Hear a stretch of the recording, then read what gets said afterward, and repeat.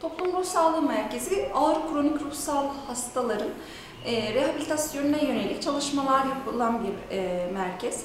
E, burada özellikle şizofreni, şizoafektif bozukluk, bipolar afektif bozukluk gibi ağır kronik ruhsal bozukluk tanısı olan hastaların topluma yeniden kazandırılması amaçlı e, etkinlikler sağlanmakta. Bu amaçla hem profesyonel bir kadromuz var, psikiyatri uzmanı, psikolog, iş uğraşı terapisti, sosyal hizmet uzmanı, hemşirelerimiz, yardımcı personellerimiz olmak üzere işinde profesyonel olan bir kadro bulunmakta.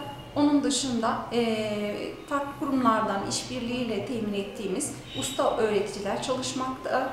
E, çeşitli alanlarda spor, müzik, resim, e, tiyatro, el sanatları gibi alanlarda farklı şekilde çalışmalar yapılmakta.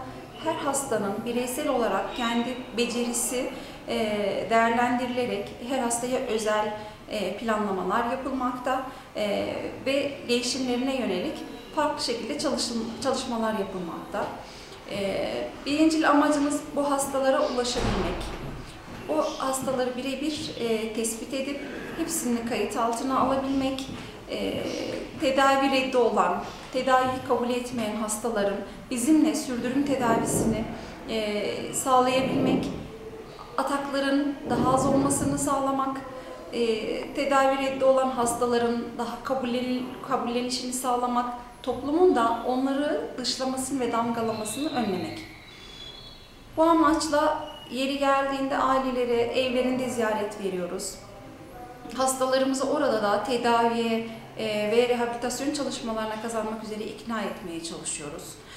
Zaman zaman aile eğitim toplantıları yapıp hastaların da hasta yakınlarının da e, aile e, hasta, hasta yakınlarının da e, hastalarıyla ilgili daha bilinçli davranıp onların tedavisinde nasıl bir rol alacakları konusunda eğitimler veriyoruz.